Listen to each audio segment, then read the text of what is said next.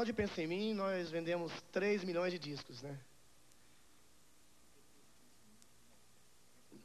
Depois eu pensei em mim. Não, o primeiro foi Entre Tapas e Beijos, em 89, que vendeu um milhão de discos, né?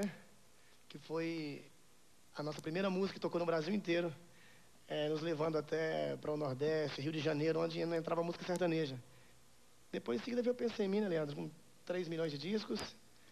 Eh, depois veio Paz na Cama, Não Aprendi a Dizer Adeus, do mesmo disco, que vendeu 2 milhões. Depois, um monte de, graças a Deus, todos os discos do Leandro Leonardo.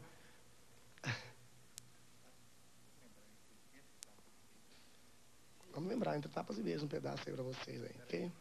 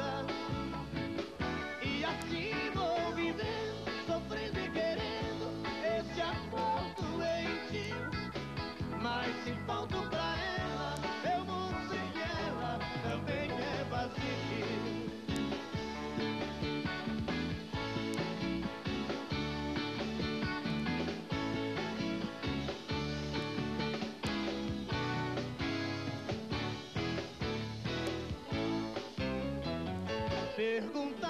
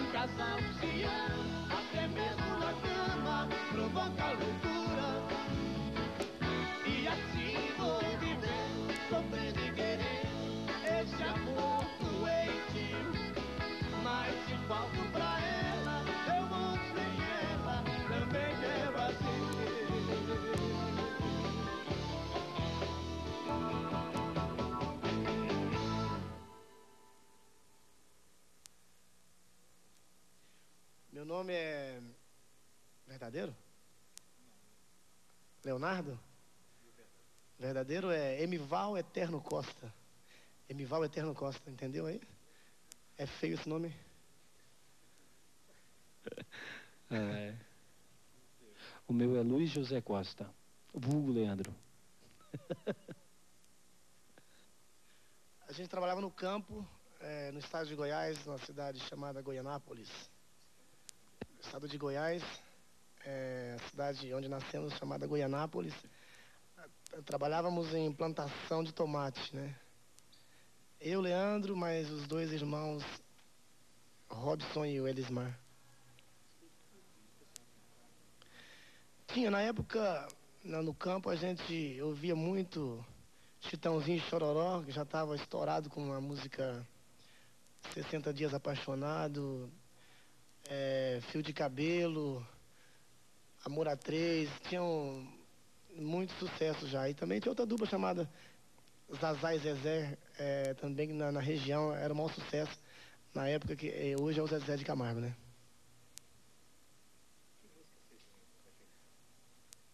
Deixa eu ver.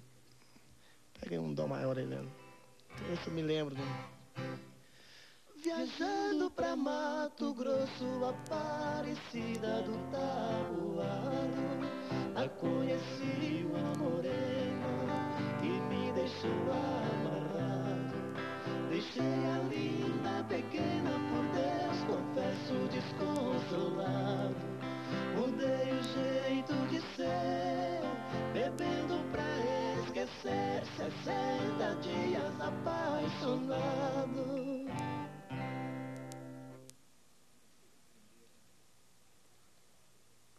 Olha, eu aprendi a tocar. Meu pai tocava, né? Ainda toca até hoje. E eu aprendi as primeiras posições, o Ré maior, o Dó, o Mi, o Lá. Isso aí foi com meu pai, né?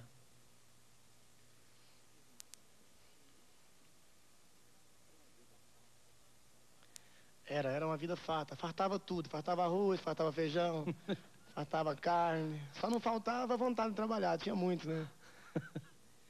Fome não, porque Deus não deixa a gente passar fome. E a gente trabalhava muito e não era justo que, que a gente passasse fome, né? Sempre aparecia um filho de Deus que emprestava um, um litro de manteiga, de óleo. Outro emprestava meio quilo de arroz, até que o almoço chegava lá para as três da tarde, mas chegava. Olha, tinha. Tinha o Carreiro e Pardinho, né? Tinha Milionário Zé Rico. José Rico, Mato Grosso Matias. É, trio Parada Dura. Nós, nós é, crescemos com esse, ouvindo essa- essas músicas, né? Tião Carreiro tem um saudoso Tião Carreiro, né? Foi uma perda muito grande. Vamos ver, Leandro, se eu me lembro de alguma coisa. hein?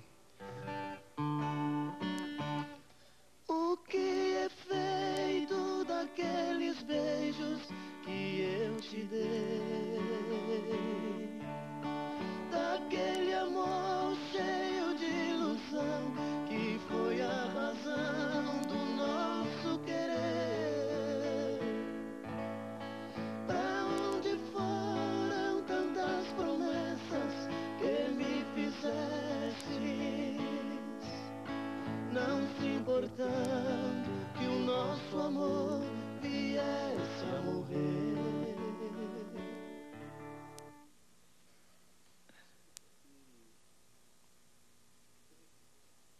Tonique Tinoco. Mas tem tanto sucesso Tonique Tinoco, hein, gente? Deixa eu ver se eu me lembro um, Leandro. É, pega só o tom aí, sol. Porque, gente, baile, baile na nossa, baile na nossa, meu bem, se dança assim, pego na cintura dela. Olha, o, o Catulo da Paixão Cearense entrou na nossa vida quando ainda tínhamos né, o, o famoso Moacir Machado, lá na 3M. Aí ele pediu, olha, eu gosto muito dessa música, a gente também já gostava, vocês podiam gravar né, essa música. Tudo bem, vamos gravar a música. E gravamos essa música também no nosso disco do Entre Tapas e Beijos. É verdade. Ah, que eu me lembro, Leandro, você lembra? É, que tom que é? Não há, gente, ou não, luar como, como esse do sertão. Não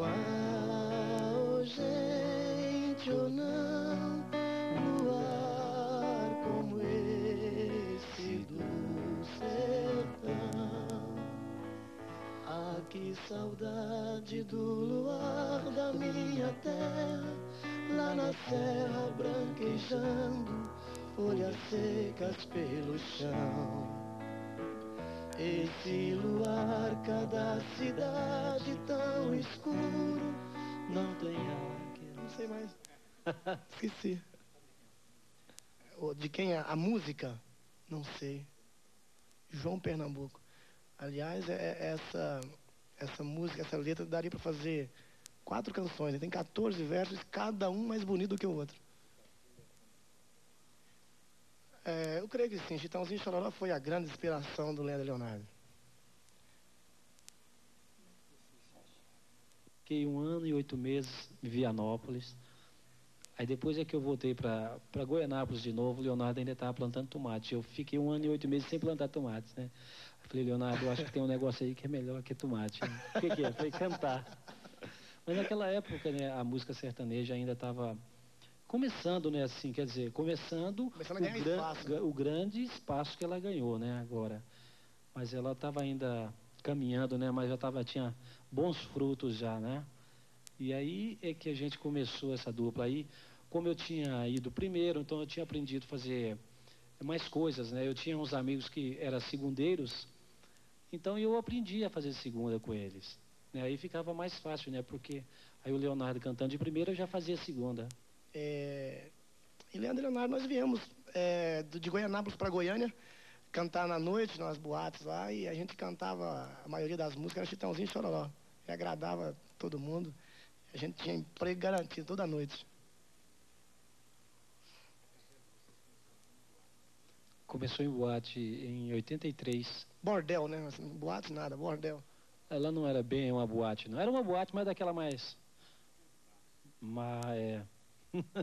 Como é que é? Ah, mais baixo. Índia. Essa música foi uma ideia do produtor nosso, César Augusto, também compositor da, da, da maioria das nossas músicas. Ele falou, olha, vamos, vamos regravar a Índia e vamos resgatar esse dueto lindo, maravilhoso que, que foi Cascatinhana. A gente faz, tem uma tecnologia aí, vamos fazer, botar vocês para cantar com eles. Tenho certeza que vai ficar muito bonito. E modéstia à parte, realmente essa música, depois que, que a gente fez uma nova mixagem, botamos violinos, harpa, mais violões, ficou uma coisa maravilhosa, adoro.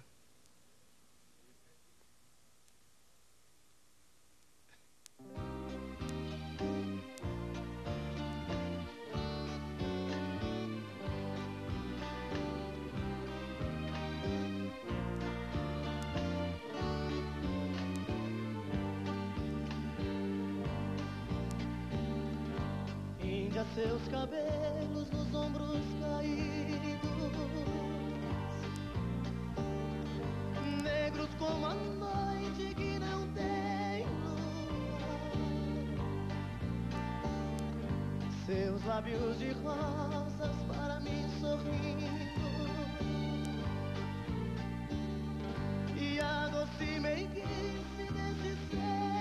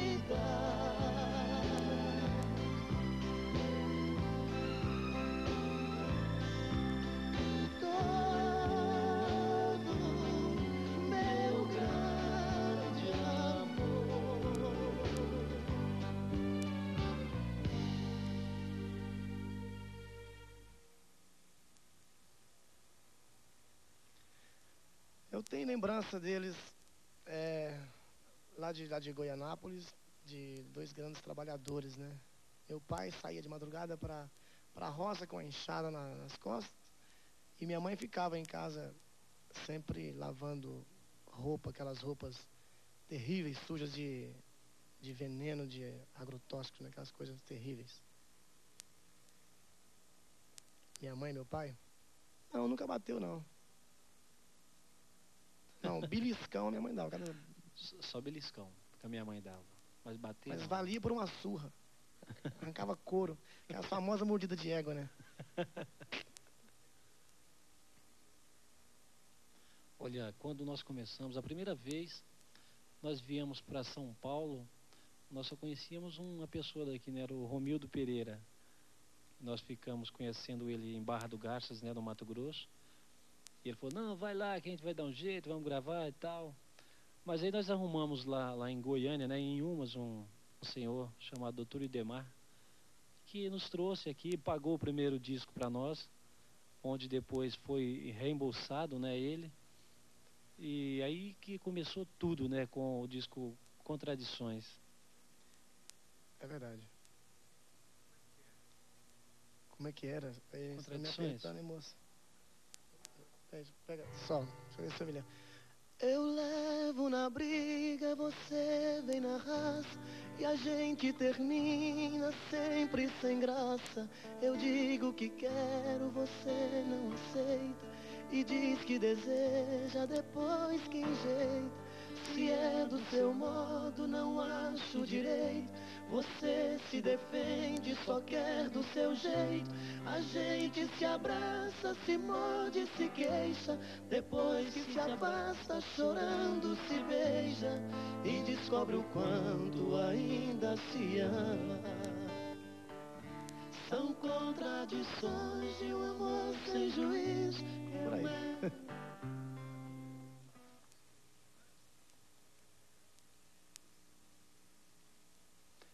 É, ma- mais ou menos, né? A gente sabia um pouquinho porque a gente já cantava na noite, né? Então, mais ou menos distância de microfone, se bem que é diferente, né? Você chega mais perto, dá um puff, né? Então, estraga a gravação. Pode estar afinado, pode estar tudo bonito, mas não fica certo. Então, Mas eu me lembro, Leandro, que na época nós gravamos o primeiro disco, tinha um técnico de estúdio, que tem até hoje, chamado Orlando Ribeiro, que é muito respeitado no meio sertanejo, sabe tudo, e ele era uma pessoa muito dócil, né? Uma pessoa muito educada.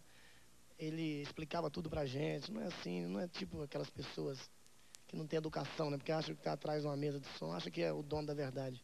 Ele era uma pessoa muito boa, é uma pessoa muito boa. Aliás, sempre gravou com a gente. Foi o primeiro e gravou quase todo o sucesso do Leandro Leonardo. A gente tem uma gratidão muito grande pelo Orlando Ribeiro.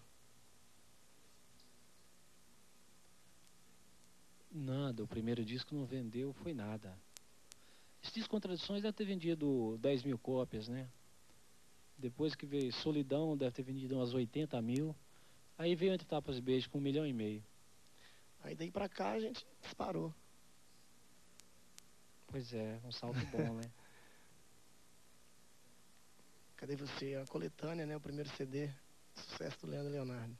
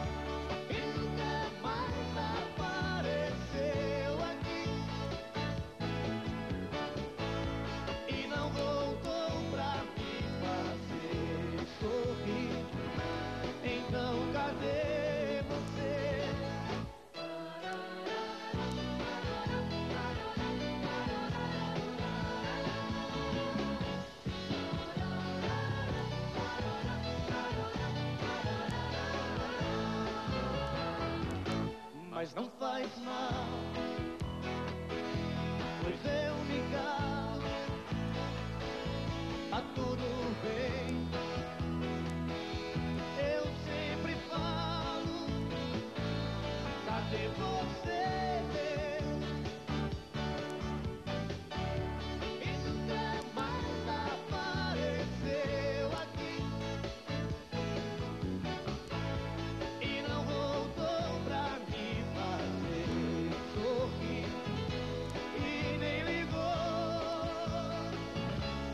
Cadê você?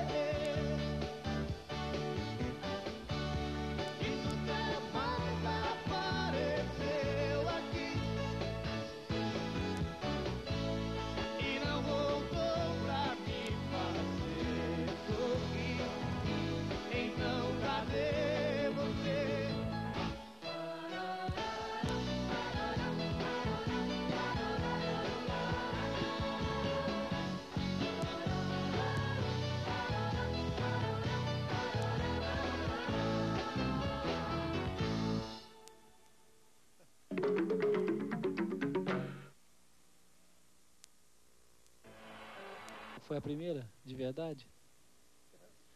Eu tive, eu acho que foi em Goianápolis.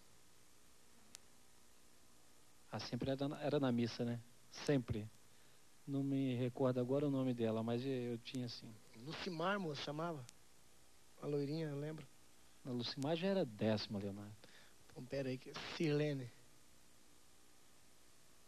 Não, não lembro o nome, não. Carudo.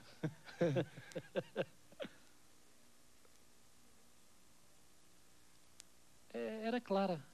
Eu lembro que era clarinha, não, não era nem morena nem loura. Eu era magro, emborcado, pesava 52 quilos. Oi? Não. Aí nós já. Aí já, já vestia a calça comprida, né? Quando, quando tinha, né? A minha namorada chamava. Chama, né? Chamava e chama. A primeira, não, Silvia chama.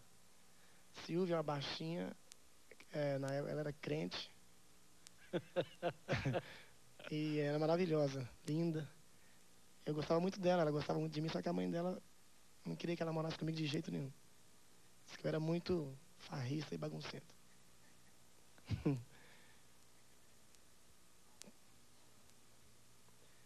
Talismã é Mike Sullivan e Paulo Massadas. Música maravilhosa. Talismã é, realmente foi uma das músicas que mais fez sucesso na carreira do Leandro e Leonardo também, né? Também, né?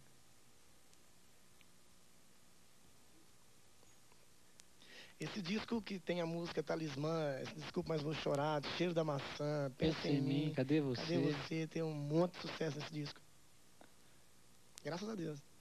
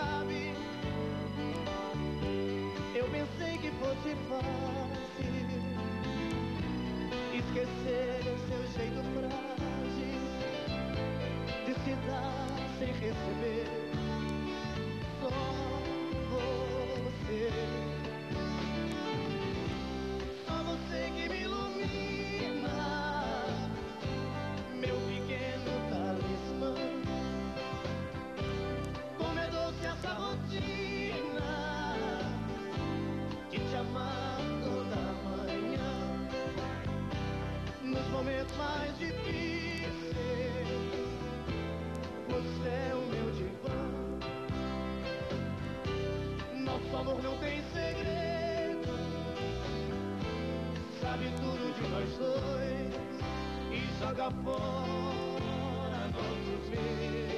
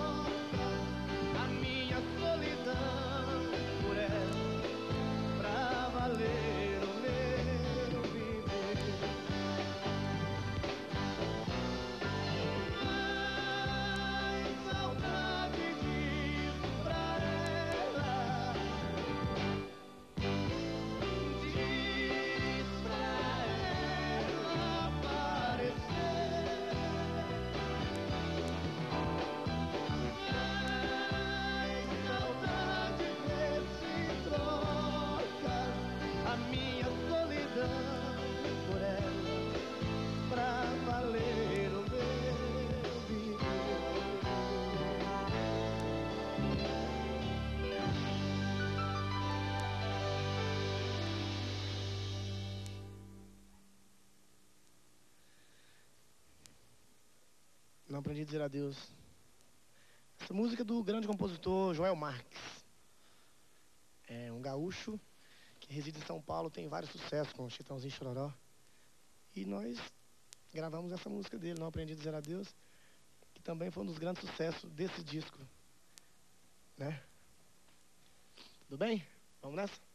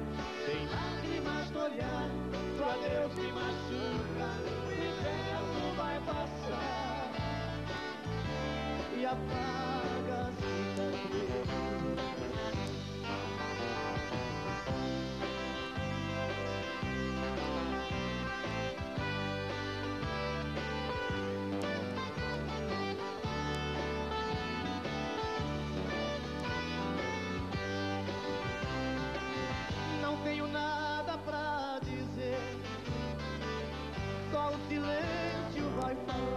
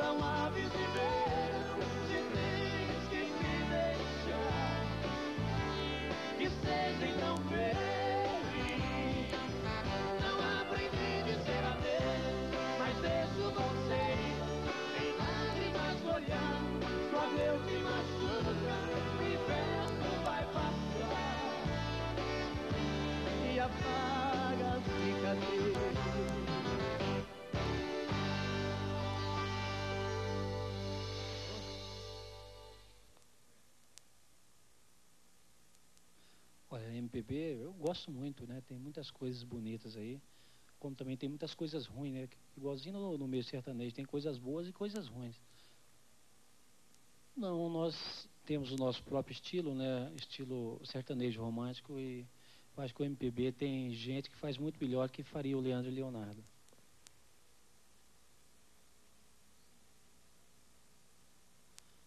Não, nós já, já viemos depois, né, disso, dessas canções. É, a gente gosta, meu pai gosta muito, mas eu acho que a nossa praia é outra, né? O, o- as pessoas que compram o disco Leandro e Leonardo, quando vai comprar o disco, já esperam um estilo de música, né? E eu não po- ah, o Leandro Leonardo não pode gravar outro estilo de música porque o que está dando certo não pode mexer.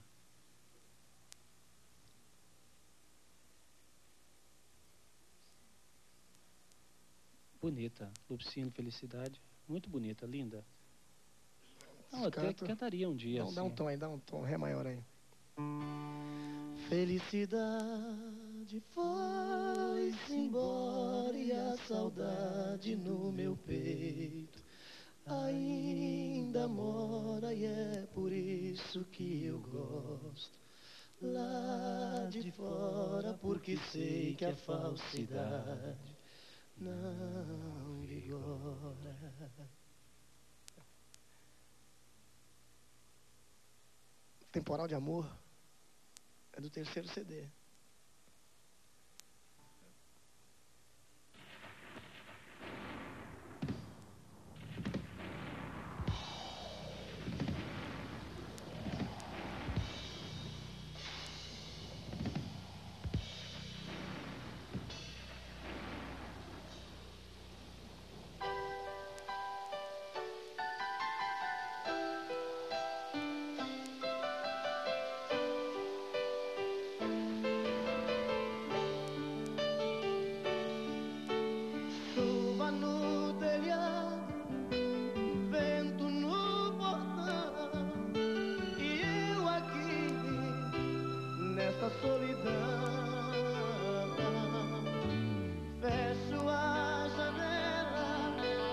Tá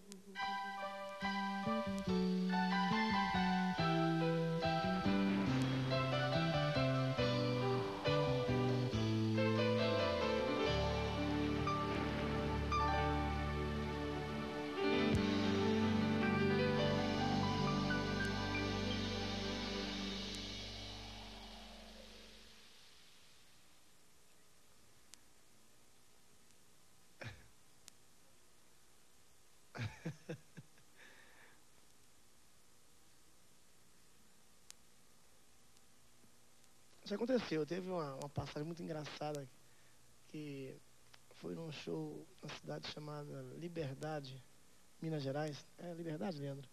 Nossa cidade, nós, nós perdemos a, o caminho, nós não chegávamos nunca nessa cidade. Eu, você e o Silvio. Nós saímos meio atrasados de São Paulo. Ele falou, o Silvio falou, não, é 200 quilômetros só. Nós entramos aqui no sul de Minas, aí vem curva e sai curva e vem, e foi, foi anoitecendo. E, quando a gente estava perdido mesmo, não, era um show político, né? Quando a gente estava perdido, ah, não dá para chegar no show, não. Vamos voltar, porque essa cidade não existe. Aí andamos mais um quilômetro, tinha uma placa escrito Liberdade, né? Aí nós entramos, chegamos oito e meia, lá quase na hora do show. Aí um rapaz tava, nos recebeu e falou, olha, vocês vão ficar na casa de um amigo meu, mas é um cara 10, muito legal, finíssimo. Aí nós ficamos lá, e o cara até muito legal, né? tratando a gente super bem, tratando os músicos super bem. Ficamos no quarto do filho dele, coisa e tal. Aí quando, depois do show, fizemos o show, depois do show nós voltamos para a casa dele. Quando estava todo mundo deitado, aí chegou o governador de Minas Gerais, com os senadores, os deputados. Ele mandou eu e o Leandro embora da casa dele, com os músicos e tudo, para o senador e o, e o governador ficar na casa dele. Esse maldito não perdoa ele nunca.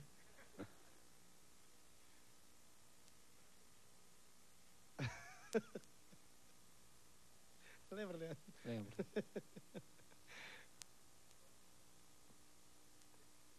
Quarto CD, esse mexe-mexe. Música. música que rendeu quase. Já está chegando um milhão e meio de discos desse, desse disco também. É. Aliás, ao todo, do, de 89 para cá, nós já chegamos a quase 12 milhões de discos.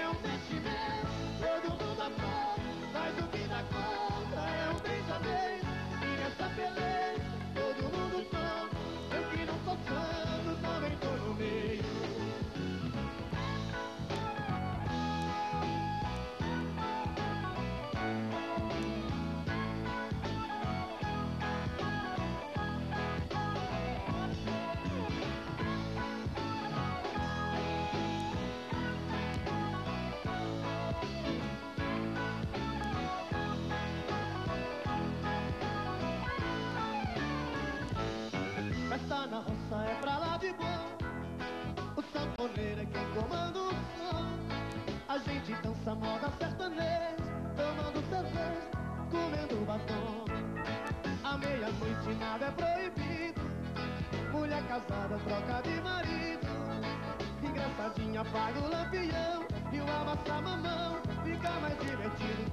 É um mexe-mexe, todo mundo acorda, faz o que dá conta, é um beija-beijo e essa beleza.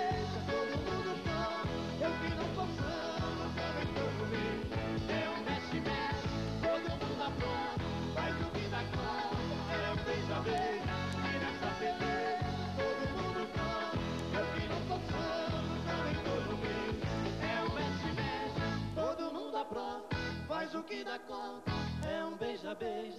E nessa peleja todo mundo toma. Eu que não sou santo, também tô no meio. É um mete-mete, todo mundo afora.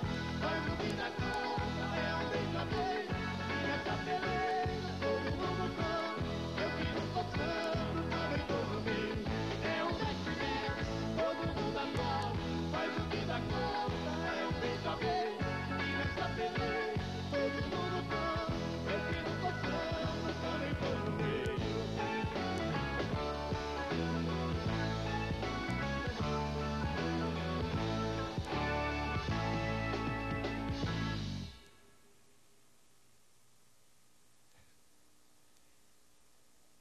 Olha, quem pratica mais esporte? O Leonardo, com certeza. Realmente, eu pratico mais esporte. Futebol, é, futebol e jet ski. Sou apaixonado.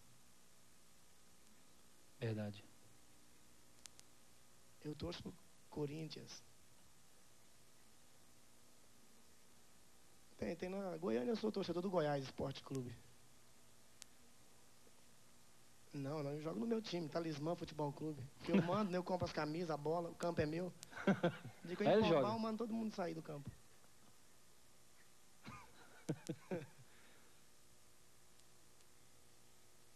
eu, meia esquerda. Muito bem. Rogerinho é o meu meia direita predileto, joga muita bola. Mais xinga do que joga dentro do campo, não, não, Rogério. Rogerinho, Rogerinho é bom de bola. Xinga mais. Sabe tudo. Xinga mais. Irmão dele, Irmão, Regina. irmão delícia. Já está quase cinco anos com a gente. Pessoa maravilhosa. Maravilhoso.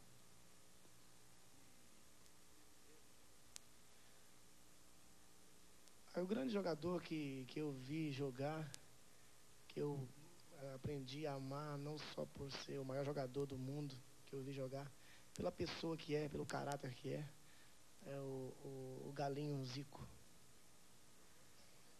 Ah, o meu é o maior de todos, é o pai deles, é o Pelé. Com certeza. Você viu o Pelé jogar? Eu, claro que eu Ah, vi. você é mais velho, esqueci, desculpa. Eu vi o Pelé jogar e o caráter dele é incomparável.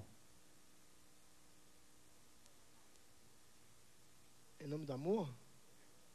Jura? Não é, não é dor de amor, não tem jeito? Então vamos. Aí depois, tudo bem. Vamos, em nome do amor, então. Tá, tá no gancho, Maurício?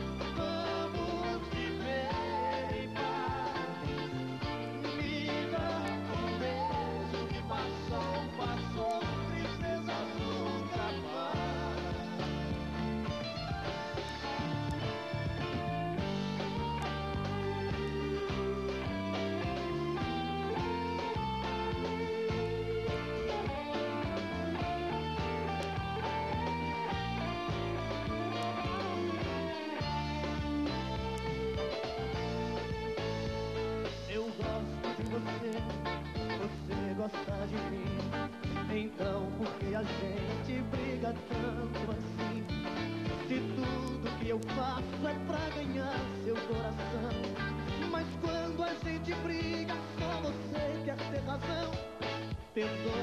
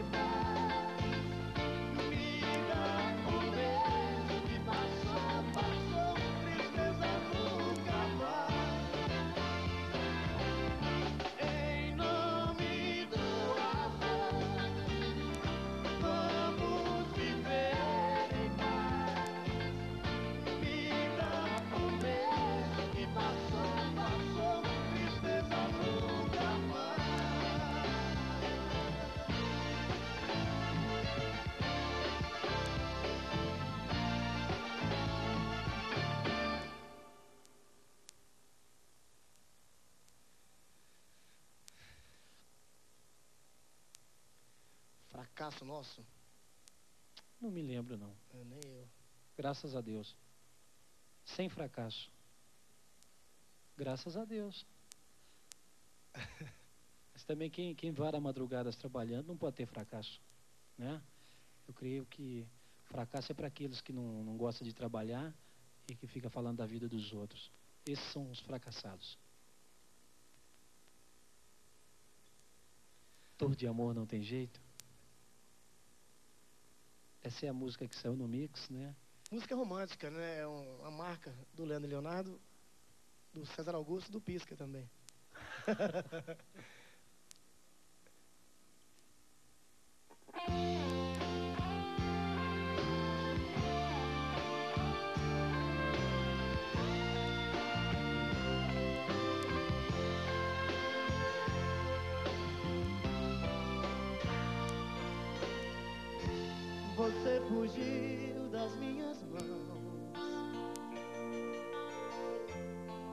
mergulhou noutras paixões. Deixou pra mim a solidão. E mesmo assim meu coração Ainda quer você por perto. Não sei se isso é certo. Eu quero te odiar. Eu sei que eu